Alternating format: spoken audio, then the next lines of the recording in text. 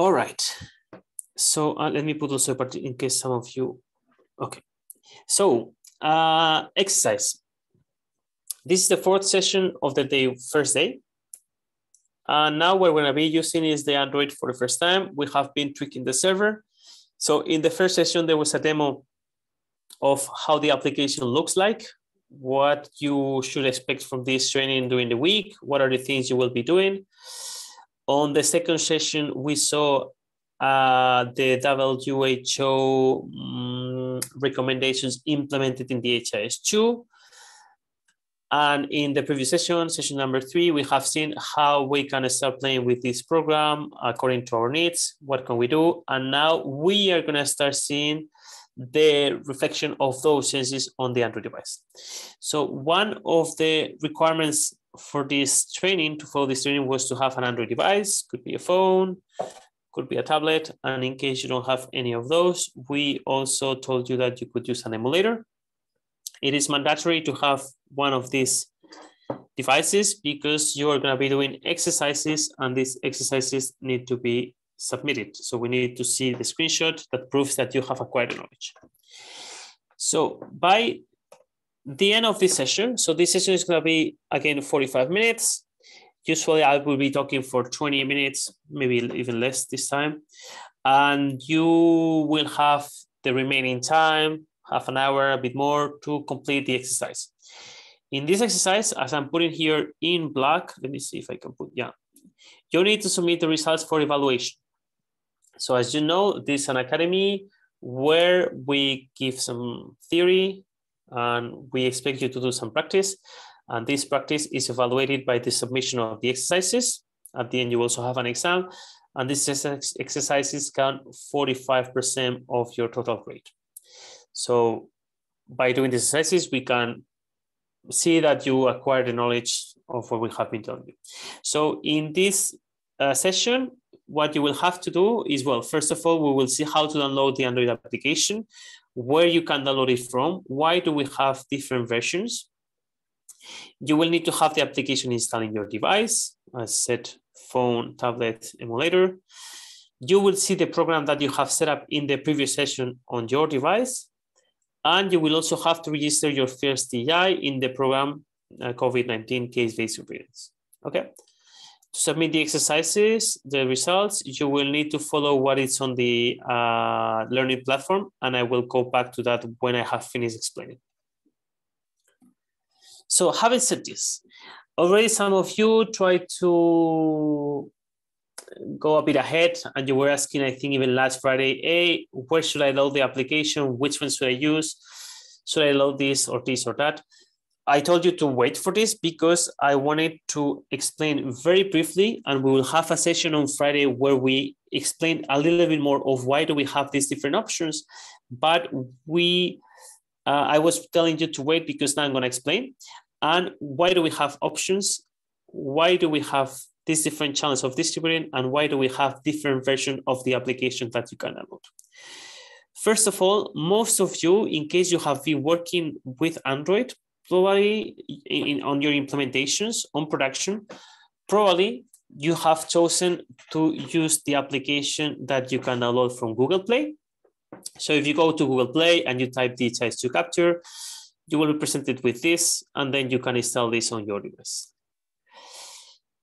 This is something that we do not recommend, even though it's a very common practice. We will see why we do not recommend this on Friday.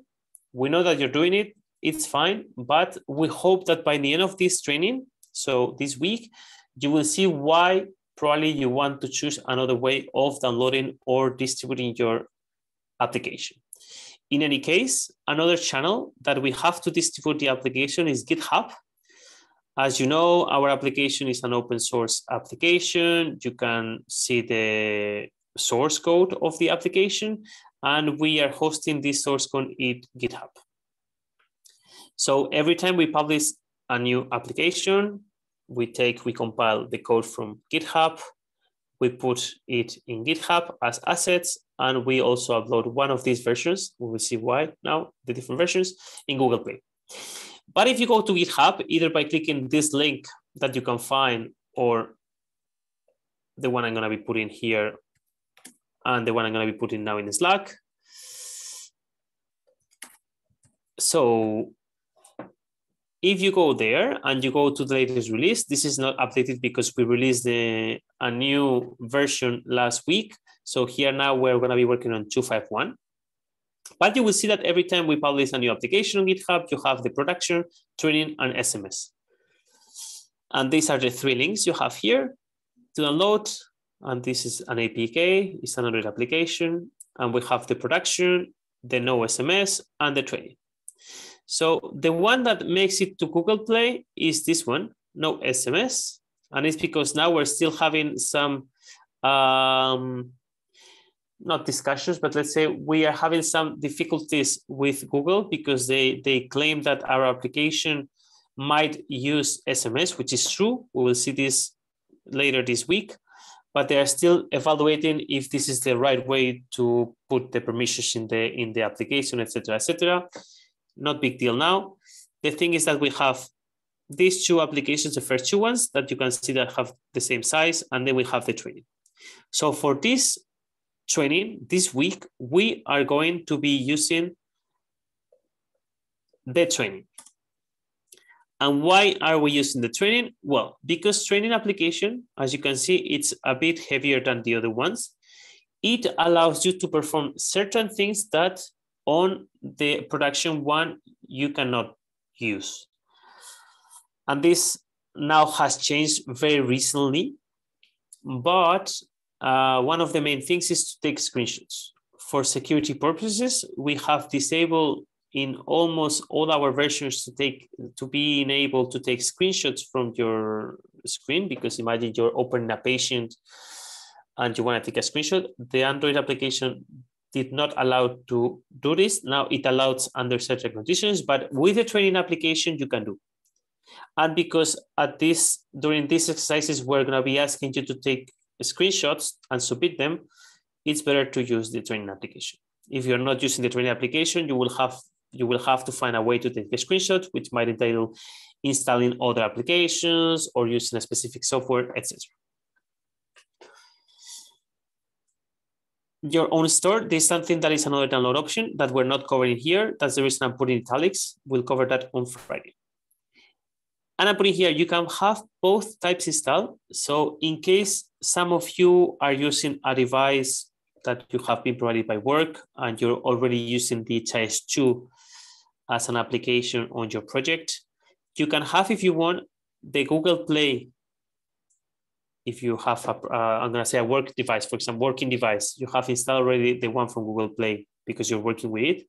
You can also install, install the training application. You can have both don't worry, and you can perform all these with tasks in the training and do not touch the other one.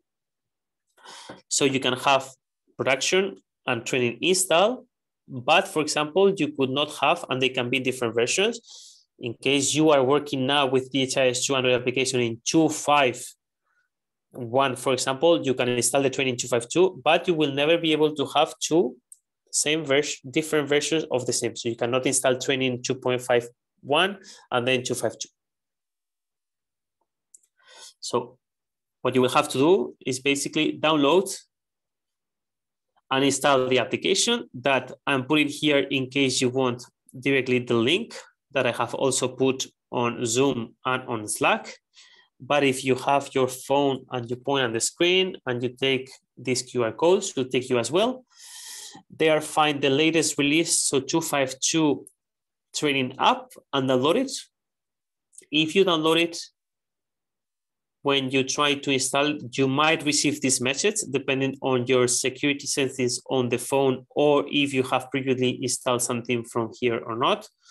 So in case that could be the case, you need to go to settings and allow files to install applications. Once the application is installed, you should see it on your um, dashboard on your start screen. I don't know how to say this now. On your main screen of the phone. But also one of the things I would like to mention is that some of you will have to give support eventually in case you are managing DHIS2 Android projects. you will have users that might have problems with the with the application. So I think it's worth mentioning that also another way to see which version of the application is installed or how to help people troubleshoot, you can go to settings on your Android device, then you can go to apps, and then you can find the DHIS2 either training or the other one. Now you just have installed the training, so you should see this one. You will see that the logo is in different colors as the production. Production is in blue, and this one is like this. But when you access here, you have access to perform some uh, specific tasks or you can run some tools that you might find not tools actions sorry that you might find um, useful while doing support. So for example sometimes maybe the application is crashing or we are you can ask the users or we ask you when doing support to delete the cache. Well deleting the cache might help sometimes if the application has been properly not properly working or your server is not properly set up and your application is crashing maybe you find yourself in a loop. So by coming here and forcing the stop or deleting the cache you might be able to work on what you were doing and putting here clear the data in red you can also delete all the data contained in the application but if you do this you will you might lose data that has not been synced to the server so be very careful when using this. But I think it's worth mentioning that this is one of the ways we use to give support and to understand how to access the application from the operative system kind of tools. So now you should have download, or you will do now in the next uh, half an hour, you will download the application you will be presented with this main screen, and then you will be asked to fill this information, the server URL, the username, and the password. In order to fill the URL, you can either access, type this uh, URL, which is the one you have been using for the previous session, but you can also use QR code. Sometimes you might have a very long URL and you don't, you want to facilitate um, the access into the server to your users. So you might create a QR code that contains basically this URL. And when you access the application, if you click on this little button that you can see here, this will open the camera. And if you point now with your devices to this, it will autofill this information. And then you will have to use your user and password. Again, this is something that we have shared before. So I'm gonna switch tabs.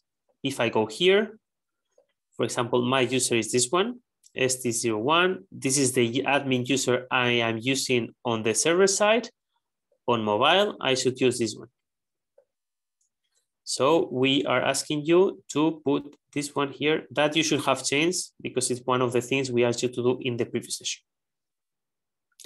So once you finish with this and you click on login, sorry, let's go here. Here, this button here will become blue. You click on it and you will access the main screen of the application.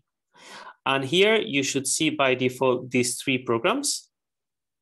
Maybe you see less, uh, depends on the setup. Also, I've taken this screenshot a bit later on the, on the training stage. But for sure, what you should see is your student number. So ST001 in this case, because I am the student 01, COVID-19 case-based surveillance. And once you click here, sorry, Marta explaining her, uh, on her presentation that here you can see the type of TI that is being tracked. So in this case, person. So when you click here, you will see that, well, in this case, I have three people. And accessing here with this specific color that is presented here. Here I have the searchable fields by clicking this magnifying glass. And this is one of the things we're asking you to do on the previous session by tweaking the searchable attributes. This will be different for each of you. If you have, for example, put remove surname from your searchable attributes, you will not be seeing searchable here. On the same way that if I could go um, to the display list different attributes, I my my main TI list will be different from one student to another one. so whenever you make changes on your server, and this is very important to know, you make changes in the server. Let's say that now you say, okay, I want to change this attribute to be searchable and this one not to be, or remove this attribute or not. Your Android does not know at the moment that the server has changed. And you need to make your Android aware of this or to retrieve the new changes that have been performed on the server. And in order to do this, what we need to do is what we call a configuration or a metadata sync. So every time you make a change on your server, you need to, as said, retrieve the changes. And to do this, we in the application, we can go on the main screen up here. So on the home screen, let me go back. Here on the home screen, we have the hamburger menu, the way it's called in Android. Should open this thing here. And here there is one thing called settings. And in the settings, we will have sync configuration and we can sync configuration now. When I click here, what's gonna happen is that the Android application is gonna go to the server and it's gonna check or it's gonna retrieve all the new changes and update its local database to match the ones from the server. I'm saying that the server, the, the Android is not automatically retrieving this, but this is not entirely true because it might be the case that according to your configuration, and this we will also have a session covering this, your Android checks every day for new configuration.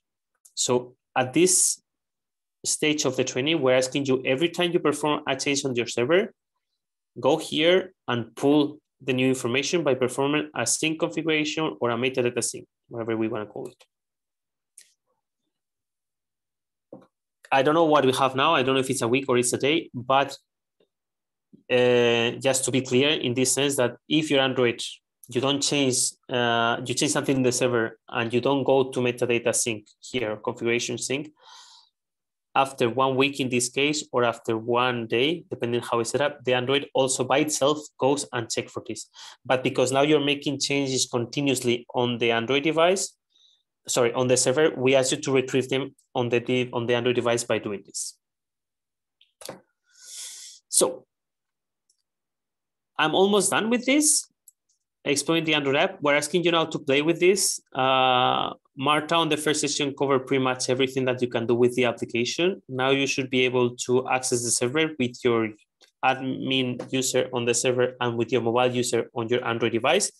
So we're asking you to play but we're also asking you to tweak different things and see how the changes are reflected on Android. And on top of this, what you need to do, now you're gonna have 25 minutes to do this. If you don't have enough time, don't worry. You can continue doing this after we have finished with the sessions or later on this week, even though we encourage you to do, uh, try to follow uh, the exercises day per day. But the mandatory exercise you need to do, so after having played a little bit with the application, making changes on the server, seeing how these changes are reflected on the Android application, you need to do this, which is submitting three screenshots. And I will explain you how to do this now. But basically, we ask you to make three screenshots that contain this. So the TI search screen. So we need to see that when you access your program, you click on the magnifying glass, there should be there some search uh, attributes that you can search. And of course, this should match what is on the server. It's gonna match for sure if you have made changes and you have performed a sync configuration. But what we want you to do is to play a little bit and see what happens if I change this and this and this. I make a sync configuration and I see the read, okay? The second one is that we want as TI to be registered. So your first patient, COVID-19 case-based surveillance, you're gonna register a TI, and we want you to sync. In order to sync, you have to register the, the TI and perform a sync. To do a sync, you have two options. And Marta already covered this a bit on her on her session. We will see a bit more later in this week, but basically when we register a TI, here we can have some icons If I don't see an icon here, it means that these three people have been synchronized. If I could see uh, two arrows, like in a circular way, it means that there are changes that have not been pushed or sent to the server. And actually, if I would access this program, I would see a TI list. And in those TI lists, I would see the same. So if I don't see an icon, it means that it has been synchronized. If I see a gray two arrow icon, it means that my TI is not synchronized. And if I see other things like red or blue, it, it means other things. So red means uh, error, blue means synchronized by SMS, whatever. So we're asking you is to register one TI and synchronize. To synchronize, you can either click the arrows in the TI or in the program, or you could come to here, settings, and perform a synchronization of the data. We have been playing with metadata. Metadata is telling the server, give me the new changes. With synchronization of data is, I'm gonna send you my local data, but also give me the data, not metadata. Metadata is configuration, data is actual content of the data. So you need to register one TI and synchronize. And we also want to see the entry form of any of the stages of the TI. We said that you can register a TI and that was enrollment, but we also saw in the two sessions before that there are some stages. We have four, this one and this one are not repeatable and these ones are repeatable. So show us that you know how to navigate here and you can fill one of these stages. That's the mandatory thing you need to submit. So three screenshots. You can take screenshots and put them in a Google Doc or in a PDF, whatever, and upload it. I will show you how to do it. Extra points. We're not gonna give you credit for this, but would be nice if you go to take a screenshot of what I've explained you in order to do support. And I'm telling you this because I think it's very important that you know how to navigate your Android operative system to reach this so if you can submit a screenshot of this as well, could be very good. So we know that you, in the future, in case you need to provide support, you know how to reach this, uh, this um, screen, sorry. So this is what you need to do. That's the end of the presentation. Now you have 20 minutes to do this. Um, in order to submit the exercise, this was explained on the day zero I'm gonna go through it again for those that were not there, but basically, excuse me, basically, if you go to your learning platform on the day one, you open this tree and here you will see assignment. So today there's only one assignment. By clicking on it, here you have the explanation of the process, how you have to do it. Basically, we ask you to submit screenshots. So you need to take screenshots into a docx or PDF, whatever you want. You can write something. So this is the explanation. So if I go down here, I see submission. So by choosing file here, I will be able to select the PDF or doc. I can write something if I want, and I can click on submit, which this button is the button and will be enabled. That's it. If you have problems regarding this, let us know.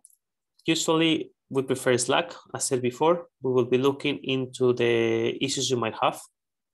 I know that you were, some of you were also having issues with the permissions. I don't know if it has been fixed already. I'm gonna be checking. And the other thing I wanted to do, to mention now, before I stop sharing my screen and stop the recording, is that I know I'm gonna be a bit annoying with this. I'm gonna restrict it, or I'm gonna try to say it many times during the day. Here, we're asking you to provide feedback. So you should have provided feedback for the previous session. By going here, you have prepared your users. So this is the previous session please fill this form. If there is something that you're not happy with, you can well, mark it here. These questions are very easy to answer and quickly. and then you can submit comments. And also after you have complete the exercise of this session, you will have this one, Android device metadata and setup, the same, same five questions plus a form where you can type whatever you want. Uh, we will take this quite seriously. Don't worry, it's anonymous. If there's something you don't like, let us know. Uh, I personally review feedback every day or every two days, and we try to improve with each, each edition. So for us, very valuable. We're not gonna take any. Uh, if you, I mean, if you provide something that we're not happy with, it's fine. We will not know that it was you. And on top of this, I personally don't. I appreciate it even more if you tell me something that didn't go very well, because we're gonna improve through your feedback. I'm gonna stop sharing. I'm gonna stop the recording. And if you still have questions, uh, please put them in Slack or in Zoom. And uh, let me well go back to this. We have fixed again. I said this before. I'm gonna fix. I'm gonna say it again. We have fixed the slides, so I'm not gonna be sharing this the whole time. Please download the slides or open the Google Slides and have this to know what you have to submit. It's also on the submission of the exercise, the, the three screenshots you need to, to provide. So thank you very much.